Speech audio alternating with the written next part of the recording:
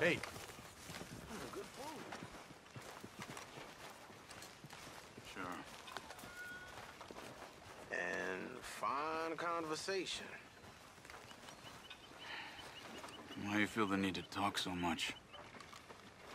Oh, well, why you feel the need for silence? I guess I prefer people when I don't have to listen to them. Point taken.